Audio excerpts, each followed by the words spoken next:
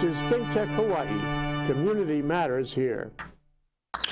Guys, and we are back live here in Hawaii, Think Tech Studios in Hawaii. But as you guys know, I'm not in Hawaii. I'm actually in Denver, Colorado. But thank you guys for tuning in. Don't forget to hit that like, subscribe, comment, and share button, wherever you may get this on the podcast, YouTube video, or if you're catching us live. But uh, as always, guys, I don't have a lot of time, and I definitely know you guys don't have a lot of time, so we're going to jump straight into it.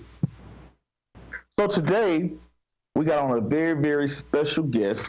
Uh, we have Mr. Ronald Davis. And the reason we have Mr. Ronald Davis on today is he's doing something very interesting where he built the largest youth development program for student athletes, building the, the and the largest in the U.S. So we definitely want to hear about that. You know, being a financial literacy show, I think is very important. You guys have seen different uh, NBA athletes and different NFL athletes and stuff like that come onto the show, but uh, it'd be nice to see that someone is starting kids at a younger age, and we're going to see what that's all about.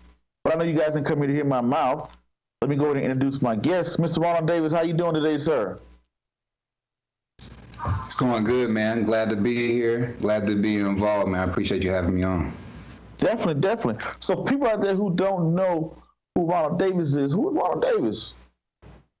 Well, um, he's he's a man of many many trades, I guess. Um, well, I, I'm a, a, former athlete. Um, I went through the, the ranks, man. I played in arena football, um, dealt with you know the different I guess, uh, business aspects of the CFL and the NFL. You know, definitely trying to pursue that dream of athleticism.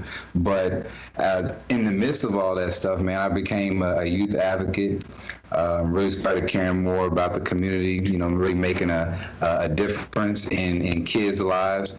Um, it probably started earlier than that, but you know, this was about the time where everything started to mold. So uh, you know, from there is is just become. Uh, I was real nosy real, real nosy. I wanted to know a lot of answers to what was going on, why kids are failing so easily, um, why do kids grow up into being, you know, very consistent to how they were as a child, as a grown up, and uh, just just really wanted to to learn more. So I, I became a, a student of that world. Okay, that's a very interesting package. You went to Alabama State, right? Right, right. Alabama State University out of Montgomery, Alabama. Okay, go to Alabama State. You know, congratulations on y'all um, you know, the state of Alabama's, uh, you know, victory last night in the college national championship. You know, me being an original Georgia boy, I'm not too happy about that. But hey, right, right, right. They got a they got a good thing going over there. You know, them folks. Uh, they got a good program. They do it really, really, really well. They got good support. So, you know, hats off to them. Um, you know, the Hornets. I think I think our school at this point in time is probably well more known for uh, for track and we got some fast demons out there at Alabama State. So, you know, shout out to the Hornets. Okay, definitely. Now, the thing about it, you, you speak about this youth development program. What it entails like the, the student athlete, you know, by you being a student athlete and going on to the pros and arena football, what what now, now what is it does it consist of? Like, you know, what is it what does it do? How do you find these student athletes or whatnot? Well, you know, we, important the the focus of it is the kid, you know, and and everybody wants to help kids. There's a lot of programs out there that do things for kids, but you know, the the, the things that we focus on with the kids is the athletic and the educational portion, um, and that's what we highlight the, the, the most. Athletically, we don't focus on basketball, football, baseball. We focus on athleticism, uh, which makes it a little bit more centralized to the specific child. You know, everybody can't jump like LeBron or shoot like Steph or or run down the field and make big hits. So it's not supposed to be focused on that. But whether you're a great athlete or you're uh, a kid that's excited about running and gunning and being energetic, or you're the most intellect intelligent child um, or you just like to be, you know, scientific experiments, you can leverage both ways. So we want to be able to help the kid that's really good at sports, but they may lack in education, and we want to help the kid that that has education principles pretty ha- handled, but are not necessarily the best athlete. Okay. So is it is it just in Alabama is where you or just in um because you're located in Baltimore, right? Am I right about that?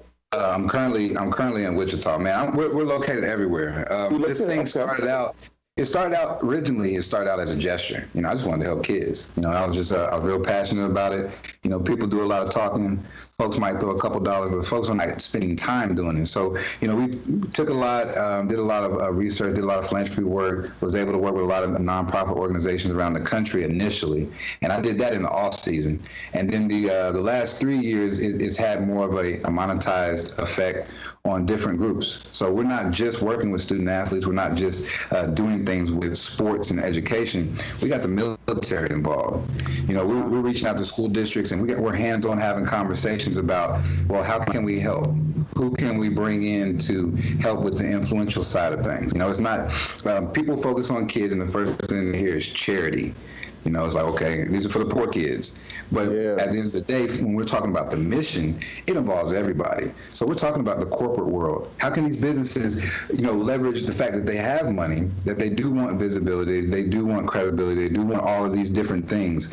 How can we take it to the next level? You know, not just do our normal um, sponsorship, you know, tax write-off, and then go on about our business. How can we be more visible with our hands in the community, in the school district, um, in the medical field. You know, we, we've taken the, the approach to involve everybody, but also find what each group needs to actually be effective. Okay. Now, in your program, what do you what do you teach the student athletes? Is it you get ready for the pros, or just life, or what is actually like you know um, we we have a, a slogan to learn, train, and compete.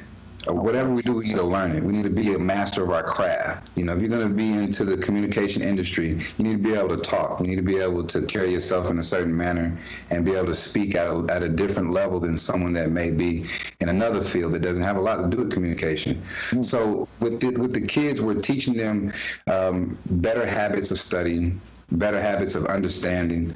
Um, you're working with someone that you probably are more likely to respect a little bit further than the actual teacher or principal or someone that you see every day. So we really, really highlight the influence of what athletes are in our in our country, not just you know the big time guys. There's folks that are, are very influential in, in a normal realm. You know, I'm not a big time guy, but at the end of the day, you know, I stand for something that's pretty strong, and kids love interacting with me.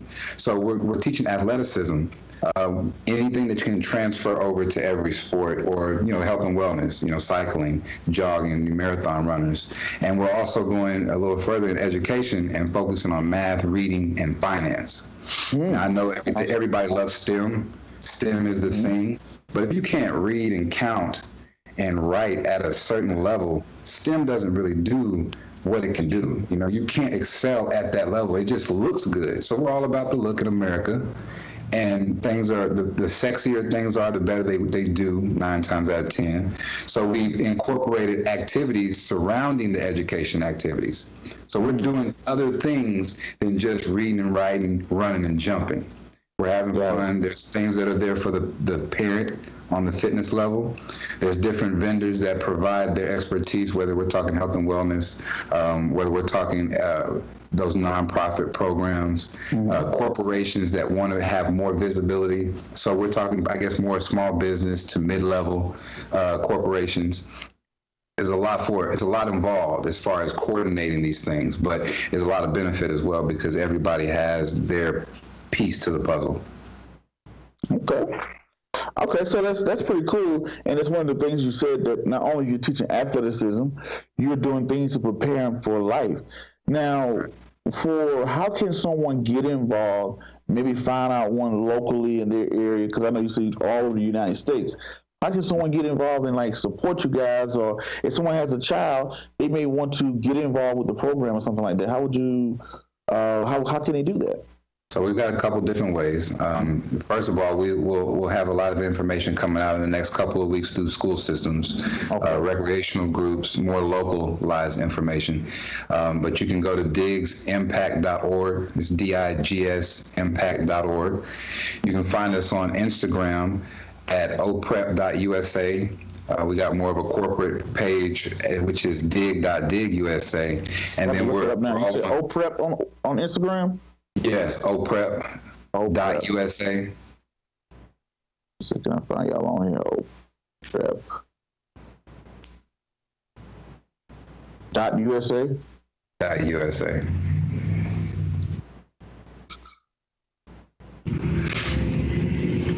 Okay, there we go. Let's see. All right, you guys got a new uh, new follower. Well, I appreciate it, man. I appreciate it. We um we're going to really make some noise, do some different things, you know, have some different ways of getting people's attention, uh, because it's uh, it is it is a big deal. It is an issue. Education is uh, suffering and struggling, but you know, when we think about business, we think about tech, we think about all these things that are constantly evolving.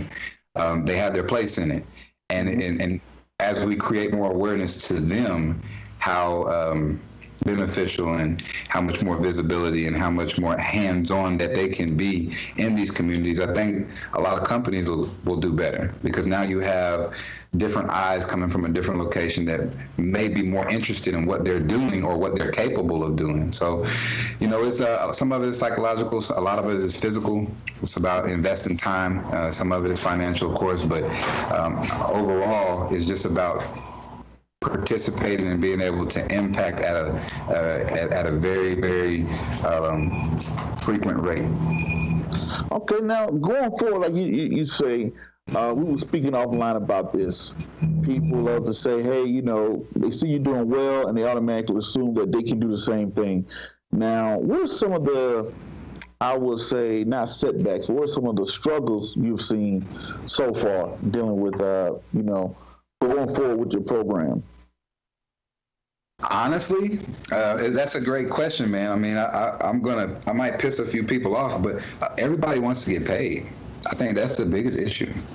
Uh, we take our America, we take the opportunities that we can do just by listening to someone, a kid in general, which which is what our focus is. Um, kids just want to be heard sometimes. You know, I think when they talk about discipline and behavior, they go into a, a, certain aspect. Oh, or this kid is in the hood, or this kid has this problem because of X, Y, Z. A lot of our issues has been the mere fact that people haven't taken enough time to look at how they can do things. So in the medical world, nine times out of ten, medically, if a kid's not hurt, injured, or sick, you don't feel as if medically there's anything that they can do for a child. But you know, when we talk about interest level, when we talk about activities and things of that nature, the medical world has so much more that they can give to a kid that's seven, eight, nine, or ten. I got an eight-year-old daughter. She's so, you know, aware and so uh, open to to learning things that anything I give her, nine times out of ten, even if she doesn't like it, she's open to doing it. So therefore, there's an opportunity for her to, you know, be more involved with that. I think it's the same thing business-wise. It's the same thing inside some of these communities because it's, it's just lack of awareness and lack of understanding of what people are capable of doing. Okay. Now you said that everybody wants to get paid. Can you elaborate on that when you say everybody wants to get paid? How is that an issue? it becomes an issue because if it's not my, part of my agenda, then I'm not so open to be involved. And you know, credibility is a, is an important thing in America. We want to know that the person that I'm dealing with is going to follow through. And I've come across a lot of pros that at that time, maybe four years ago, where I was, I didn't have that same sincerity. So therefore, the follow through wasn't necessarily as uh, convenient back then. And I think that that was part of my growth. You know, a lot of the things where I failed or that I might have uh, had a setback, you know, it was it was a great learning lesson because that's where I learned more about contracts. That's where I learned more about um, the, the legality side of things and what can and can't be done. Working with different groups, nonprofit, government, it's different. And when you want to help and when you want to be able to do things for people, or, or should I say kids or whomever, you're, you're going with the more of a passion mindset instead of a business mindset. And so as I've grown, uh, even being a, a, business major, I mean, I still don't believe that some of the things that we that we have a part of these curriculums actually prepare me for the different things that were in this field because they require different things. I'm working with athletes. I'm working with governmental agencies. I'm working with nonprofit organizations. And since everybody's system is different, to be able to, you know, chop it up, chop that pie up, you know, to the point where, you know, everybody's getting the same amount of attention. Mm-hmm. If there is a return, that everybody's return is coming to them in, in the manner that they feel, um, I guess, happy with. Mm-hmm. And then, did we succeed with the kid? There's a lot of fly-by-night programs. I'm not one of those. You know, when kids leave these activities, when people and parents leave these activities, everybody has a little better understanding of something you know, health and wellness, um, you know, what it takes to be an athlete, what it takes as far as athletic responsibility. All of those things are key components into it being successful, or is it's a waste. It's a waste of time completely. At least that's my opinion. Maybe somebody out there that, that looks at the business plan says, well, that doesn't matter as much. But um, when I started this, man, I started it, you know, for free. Kids gave donations. So where we are now, our mission has really, really um, over overshadowed the business aspects of it. Okay. So is it a, a nonprofit organization that you guys operate under, or? No, sir. I'm an LLC. Um, okay. I've been an LLC for the last couple of years. I partner with uh, several nonprofits around the country. A lot of them are mid-level. Um, I have worked with the, uh, the, the Boys and Girls Club systems in different aspects of the U.S. I've worked with the Salvation Army in different locations, um, but I really love working with more mom and pop type um, nonprofits. I uh, just oh. opened a, a partnership with Operation Lunchbox. Uh, they're a nonprofit out of Atlanta, Georgia. They do a lot of activity with feeding kids that are not able to feed themselves when school's not in. So they get the free lunch at school, but then when school's not going on, these kids are hungry. And there's wow. kids like all the country. So how you find them is very, sometimes it's easy, sometimes it's difficult depending on um, the knowledge of the resource. But they were that that brought me to them because they were getting kids ramen noodles, pop tarts. You know, they was getting kids that type of food. Which it, I said, at the end of the day, what they're doing is amazing, but they got to be able to feed these kids healthy food. I mean, we take a kid and we stuff Pop Tarts and ramen noodles, and and not to discredit those brands because those they, they, fit in a snack mm-hmm. form. But we're talking about nutrients, we're talking about vitamins, minerals. So to be able to work with a nonprofit like that and find, you know, looking for a sponsor for them to to be able to work with because what they're doing, they started out of their own pocket.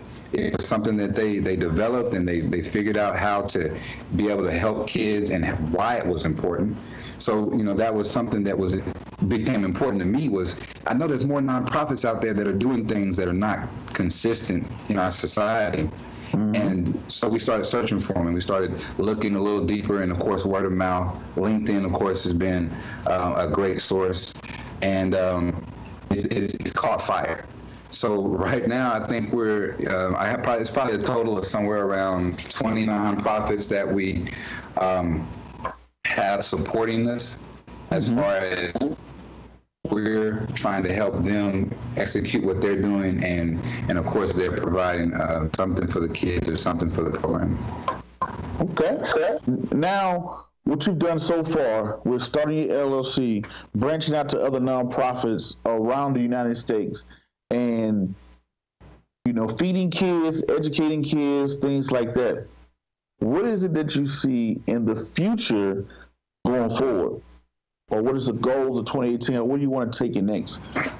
Well, you want, to have one like every major city, or what is the what is the goal with this? Um, I, I want to. I think the program needs to be where it's welcome. You know, there's a lot of places um, that you deal with when you're on the local level, dealing with kids. You know, you, you got your, I want my kid over here, or I want my kid over there. So it's not something that I necessarily deal with. Uh, the impact tour, it'll spread every year we'll look to do more. Um, there's been some contact from Canada as far as you know utilizing the program and the activities that we're doing. It's not so much of us helping kids. People are helping kids all over the country.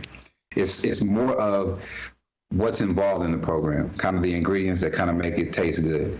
And I think that that's a big deal because it's not normal. It doesn't exist. There's no there's no group or um, activity like it with this type of focus.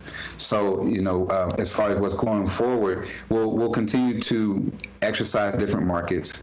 Um, we'll definitely have activity going forward um, on a, on a day-to-day basis with certain areas. Uh, Dallas, the Dallas area being one of those areas.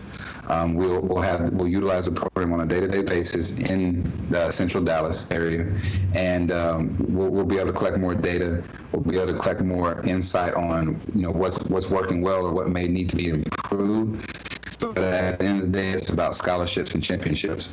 You know, we want to put kids in college or give kids a two-way go to decide what they're going to do with their life, and whether that be athletically, whether that be through education, and I guess you could throw a third one as far as jumping into the corporate world. You know, exercising the mind. There's a lot of uh, millennials that are doing big things. You know, that we witness every day. But I think that there's a, there's an area of kid that might come from a, a, a cubbyhole type location or a cubbyhole type area that might lack motivation, might lack the the the, the uh, confidence that they can do things. So I believe that we'll create a lot of different avenues because we'll be able to touch kids that really didn't believe in themselves or, you know, just wasn't in the right situation. So being that resource for for the world, uh, I think would probably be the end result. You know, being able to have access into a lot of different areas, uh, more than what we have. I think right now we're getting ready for 30 this year. Mm-hmm. Last year we were at 12. So one to, to, to, repeat in different locations where we have an 85% success rate there. So we have 85% of all the, the, the, cities that we worked with last year, we have them confirmed for this year. And, you know, we just kind of continue to grow, you know, continue to find the right people to be involved, continue to make my team stronger. I got a darn good team, bro. Um, honestly, I shouldn't I did this by myself for five years, literally every single aspect by myself. Last year was the most success we had. I had the most help. I had the most support. I had the uh, probably the best type of professionals that I had come in contact with at the time, mm-hmm. and and it gave opportunity for this year. So I think with anything you're doing, um, the growth aspect just depends on who you got in in your nucleus and and how well y'all work together. Okay. Now, what's the biggest thing that you you would say that you like uh, need right now? Like you would say, hey, this is going forward right now to help us go forward. This is probably what we need, and this is how people can help us out. What is that? Um, the biggest need is awareness and we are we're, we're getting better at. This is a great opportunity, a great platform to uh, educate people on not only what we're doing, but how they can be involved. So it's, it's really awareness, um, getting getting more corporate groups involved. There's CEOs all over the country, and regardless of what their purpose or their thing that draws them to the tour, um, there is, is is so much help. They're helping their area. Every every everybody, national groups, uh, regional groups, local groups, they're they're putting something in their community that's not there right now. They're giving a resource that's not there right now. Whether they um, are, are involved with a thousand dollars, fifty thousand dollars in kind donations, uh, we've definitely been looking for hotel groups around the country. Um, we want to work with more nonprofits. okay, so so you're saying that someone can like have their own franchise into their own community.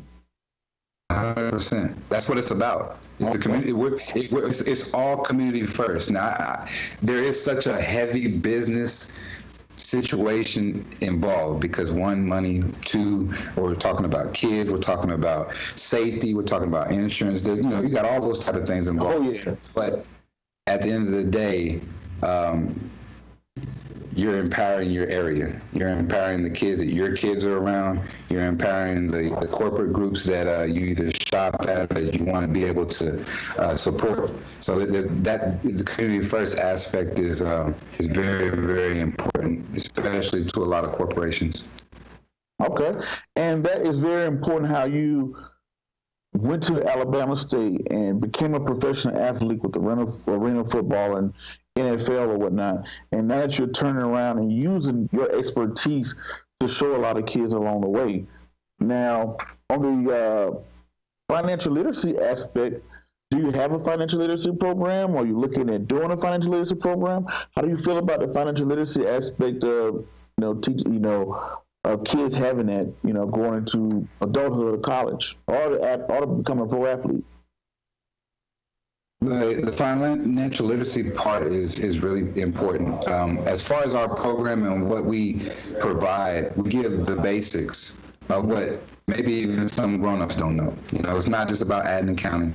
Um, we want them to be aware of what they can do on a, on a low low level for banks, uh, what they can do to save money for themselves. You know, learn to put things aside, learn to uh, control some of those urges uh, it's a big deal. It's a big deal because we see it happen every day. We see people going broke every day. We see businesses going bankrupt. Um, the, the things that are in our economy, some areas are just weaker than others, you know. And so, understanding the global scheme of the financial world has been uh, something that I had to learn. You know, I, I, had to I had to grow from you know a place of what, what I was taught, basically the habits that I learned as I was growing up, and and it's definitely held a lot to to the success of what we've been able to do. But as far as the program itself, we've had a lot of financial groups reach out to us. Um, we have a, uh, what we put in place for financial advisors to kind of help their visibility by volunteering for the local area, and that way we have professional teachers doing it. That's not my world, even as a management major. I, like I said, it's about being in your craft. So we really reach out to different groups. Um, of course, you can go to dig, digsimpact.org and sign up uh, as a volunteer, and we, we we try to appreciate our volunteers in many different ways. Okay, awesome, awesome. That is uh, amazing. You know what you're doing, uh, bringing that. You know here on, on our show. That's one of the things that we preach and we talk about is financial literacy because it doesn't matter what field you go into in life, whether you become an athlete, become a doctor, a lawyer, or whatnot.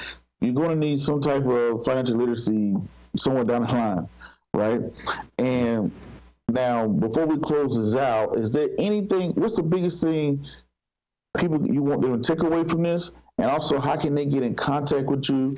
Uh, all of the great stuff like that off your social medias. Well, you know, I think the biggest thing, you know, not just from this interview, but from the grand scheme of things, is that there's there's something you can do. There's mm-hmm. something you can provide. It doesn't matter what level of your life yet. It doesn't matter how much money you have. There's involvement that you can you can you can give to the youth. There's involvement that you can give to your community. And then when you take that mindset if you can monetize it, then of course, by all means, that's what you should do because you got to take care of yourself first. But at the same time, uh, it doesn't take a lot to talk to a kid. It doesn't take a lot to sit up here and give, um, you know, constructive criticism or good advice. And you know, the the Make an Impact tour is about just that. You know, bringing bringing different aspects of our life, bringing different aspects of our community together um, to to uplift the youth because the youth have have a lot to do with what we're doing in America and where we're heading. As far as finding us, um, you know, we're on digsimpact.org. Uh, you can find us at oprep.usa on Instagram. And uh, we're also the corporate the corporate page for uh, Davis Integration Group is dig.digusa, USA, and that's also on Instagram. Uh, and then we're on Facebook as well at dig.digusa. That's okay. all of our at our uh, channels. What was the Facebook again? The Facebook was dig.digusa. Dig.dig. Okay. So I'm going to look that up. So dig.dig. We're doing real time. So there we go. You said dig, D-I-G, dot D-I-G? Am I right on that? Yeah, D-I-G dot D-I-G USA. Okay, is there any space in it after the USA? Let's uh, make sure I got it right. All right. Okay, boom. We got you there. So I got him on Facebook. It's also got a new follower on Instagram. Definitely, we are big in supporting uh, our kids and teaching our kids because they are our future. And I'm big on telling people too, if it was something you was missing in your childhood and you don't see around, how about you create it yourself? And that's exactly what you did. So I definitely want to give you a a, big thumbs up and, a, and, appreciate everything you're doing. Uh, I've been in Wichita and around the, and around the globe, uh, teaching kids and um, teaching them and helping them grow and things like that. You know, and with that being said, guys, this is the Investor Show. You guys know how to get involved with Digs, uh, the largest student athlete program in USA, started by a pro athlete. You know, so you can't beat that. So get involved, find ways to get involved. And I want to shine light on companies like this that are doing great things for the community. And is there anything we can do to support? You know, one phone call away. And uh, always, guys, this is the Investors Show. This is your host, Prince Dykes, the Prince of Investing. Thank you for tuning in. And to the next video podcast, whatever you see us do crazy around the globe, peace, be safe, I'm out, and thank you.